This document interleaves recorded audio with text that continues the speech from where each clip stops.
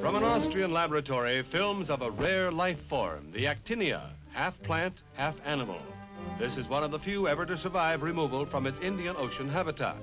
The actinia has a strange working partnership with the tiny coral fish that dart in and out of its fronds. They bring it food and return get shelter and protection.